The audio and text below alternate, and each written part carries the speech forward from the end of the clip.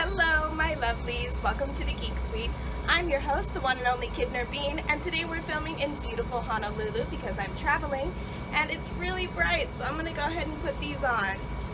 Alright, and for weekly or just about weekly geeky content, be sure to hit like and subscribe, ring that notification bell, and support our channel on Patreon. The link will be in the description section down below. Alright guys, I wanted to film this whole thing on the balcony, but it is being uncommonly noisy today with all these city sounds, so I'm gonna go ahead and move inside, and I'll see you guys in a minute.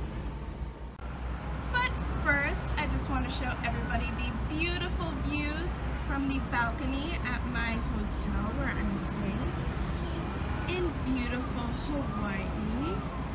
There's the ocean.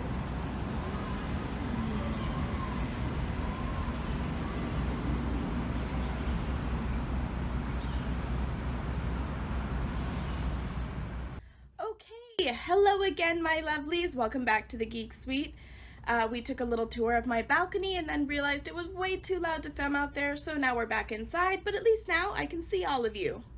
So as I've noted, today I am in Hawaii for a STEM conference because yes, I'm one of those kinds of nerds. And I figured that while we're here, this would be a perfect time to do a Lilo and Stitch cartoon conspiracy video. But wait, you say, why are you covering Lilo and Stitch? That's one of the best and most wholesome Disney videos ever. It's got a memorable plot and real down-to-earth characters. It covers dark and heavy content like losing your parents in the foster care system without becoming overly so. What possible critiques could you have? It's even got beautiful 2D watercolor backgrounds. How could you possibly have any critiques? Yes, yes, and yes to all of those things. That's a good question, and we're going to cover that later in this video. And, not unlike other cartoon conspiracies we've covered, this is one of my favorite videos that I grew up watching as a kid. And it's because I spent so much time watching this film that I was able to see something that maybe other people didn't, and I definitely think we should look deeper into it.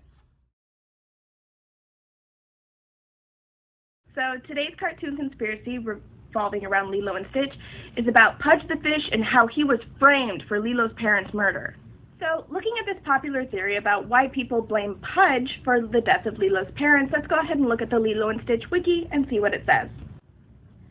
Since Lilo's parents died in a car accident where rain made the road more treacherous, it is possible the reason she wants to appease Pudge by feeding him peanut butter sandwiches and cleaning his grove for him is because she believes he controls the weather, and that if she continues to treat him in such a manner, a similar accident to the one that killed her parents won't happen again. Now, this theory is more of a geeky, playful, hyperfixating on one thing that she says, and it's not really meant to be taken super seriously, but it is something that I then looked at when watching the film again as an adult. Because while this is supposed to be lighthearted and playful, there are some serious implications to this theory that followers of this theory believe, that Lilo believes, on some level, that Pudge is a deity who controls the weather, and that he is responsible for the accident that killed her parents. So we're accepting that there are these deities on the Hawaiian Islands that take the form of normal everyday animals. And I've got to kind of agree, Pudge is definitely some sort of deity because if you look at that peanut butter sandwich in the beginning of the movie, that is an underwater sandwich, not in a Ziploc bag, and the bread isn't disintegrating, the peanut butter's not going anywhere, and while, yes, I am aware that that would just be hard to animate, it does support the fact that Pudge is somehow enchanting this peanut butter sandwich so that way he can eat and enjoy it. And furthermore, how else would this information be conveyed to Lilo that he only likes peanut butter sandwiches? So there's definitely some weird supernatural stuff going on with the fish. And also, just a quick sidebar, why is only Lilo in trouble for fighting in the beginning of the movie? Because if you watch this exchange between her and Myrtle, Myrtle is a huge biatch. She's making fun of an orphan and pushes Lilo to the edge.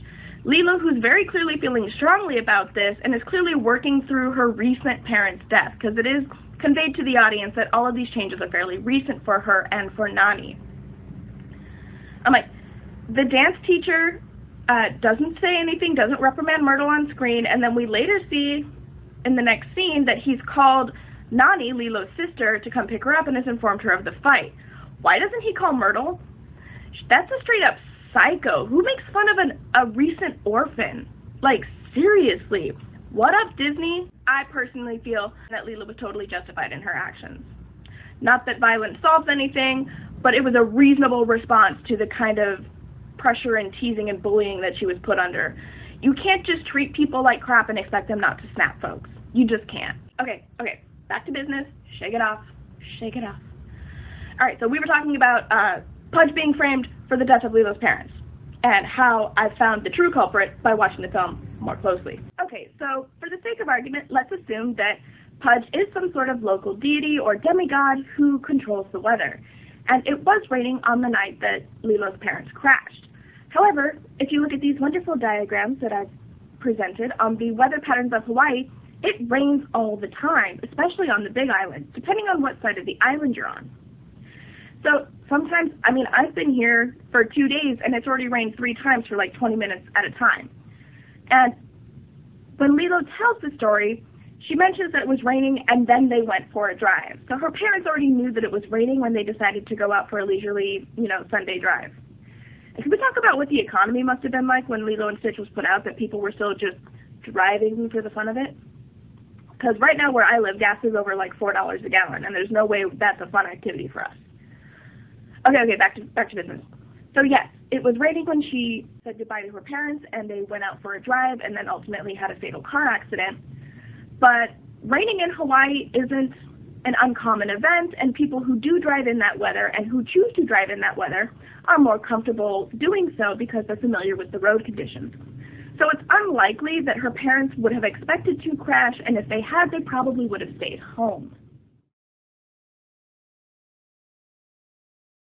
And, more importantly, there's this seemingly innocuous character who keeps appearing during the movie of Lilo and Stitch that does cause car accidents. And it's this guy. This frog appears multiple times in the movie, and every time he does, it's on a highway, and it's usually revolving around an accident or lack thereof, or preventing one. We first see the frog when he meets Stitch after Stitch crash lands on Hawaii. And the frog is there almost to like distract him because Stitch is very clearly like on a mission. Mission. He's taking you know awareness of his surroundings, figuring out where he is and what his next move is, and then he stops and notices the frog. And unlike immediately shooting at the frog like he does everything else, like the leaves, the raindrops, whatever, he stops and starts, you know, talking in his alien language to the frog and making threatening gestures, but doesn't immediately kill him. And this is a clue to the viewers that there's something up with the frog. It has some sort of special significance. Yes, it's cute and adorable, and it's a funny little joke that, you know, reappears throughout the film, but he has to have some sort of supernatural powers in order to cause this change in behavior for Stitch and, you know, survive the instant shooting response. He delays this for him. And in doing this mesmerizing, don't shoot me, just be distracted type trance that the frog has Stitch in, it holds him in this trance just long enough for Stitch to get run over. Now, does holding Stitch's attention and keeping him distracted to the point where he's run over by a big truck immediately mean that this frog is a supernatural deity? No, but it does lay the groundwork of the relationship between this frog and accidents along the highway in Hawaii. And now, the next time we see this frog is when Stitch is kicked off of Gantu's ship and he's trying to save Lilo. Stitch hits the ground hard and is initially unconscious. We then see the frog pop up along the side of the highway, realize that Stitch is in trouble and at risk for being run over, so he jumps on top of Stitch and acts as sort of a guardian of the highway. He prevents Stitch from being run over, and then a few minutes later, when Stitch regains consciousness, he uses the frog to stop a truck on the highway and then hijacks the truck and uses it to propel himself back onto Gantu's ship so he can save Lilo. Now, why would the frog do this? Why would it just recognize Stitch and instinctively hop on top of him in a protective stance unless it knew it had some sort of ability to control accidents or lack thereof on the highways of Hawaii. Now, the frog's powers, whether intentional or just written as a joke by the animators, are appear to be limited only to the highways. And this is where we're going to put our groundwork in and our big reveal for hashtag why Pudge was framed. Pudge's abilities also appear limited to the weather, and why yes, weather can be a factor in whether or not someone has a car accident, We've already established that having an accident due to the weather conditions is very unlikely for people who live in places where that type of weather is common, like in Hawaii or Seattle or London, places where it rains a lot, people learn how to drive in those um, conditions. So when Lilo says it was rainy and they went for a drive, that means they were prepared to drive on those conditions and means that the weather was an unlikely factor in their accident. So that just leaves the roads. And that's where the frog comes in. Because we've seen throughout the course of the film that this frog has the ability to manipulate traffic conditions and cause or prevent the cause of accidents on the highways. So, when we, the viewer, and Lilo are looking for someone to lay the blame on or pay homage to a certain deity to prevent future accidents, we really shouldn't be looking at Pudge. Poor Pudge didn't have nothing to do with this. He just wants his peanut butter sandwiches. The real person we need to blame is the frog. And there you have it, the true killer of Lilo's parents revealed. Do I have it? Do I have it? Let me know what you think in the comment section down below. Alrighty, my lovelies, that's all I have for you today. I gotta get back to my conference. Be sure to hit like and subscribe if you like this video. Ring that notification bell so you don't miss any of our wonderful Geek Suite content. And be sure to support our channel on Patreon if you want to see more videos like this. Every donation really helps keep this channel running.